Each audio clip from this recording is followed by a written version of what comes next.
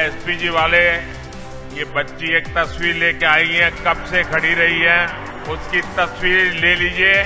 बेटा please write down your name and address